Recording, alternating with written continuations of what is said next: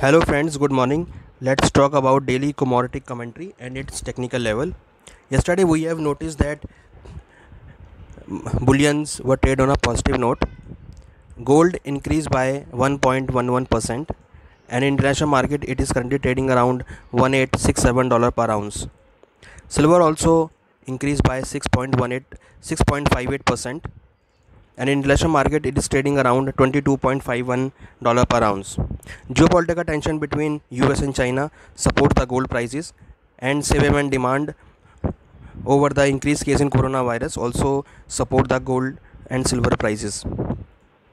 For intraday perspective gold has a strong support at 49800 resistance at 50500 silver has a strong support at 60000 resistance at 61500 the trend is positive in gold and silver so we recommend buy on dips in gold and silver for intraday perspective. Now let's talk about the base metal. Yesterday we have noticed that base metal corrected from higher levels. Copper fallen by 0.31 percent. Zinc also corrected sharply yesterday. It fallen by 2.07 percent Today we are expecting some profit booking may be seen in base metal prices. So we recommend sell in base metal prices for intraday perspective. Copper has a strong support at 502, resistance at 510. Zinc has a strong support at 171, resistance at 176. So we expect some profit booking can be seen in the base metal prices. So we recommend sell in base metal for intraday perspective.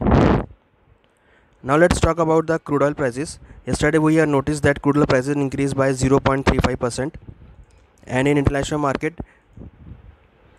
crude oil prices have increased by 0.75%. Currently trading around 41.95% per barrel. The trend of crude oil is still positive, so we recommend buy in crude oil.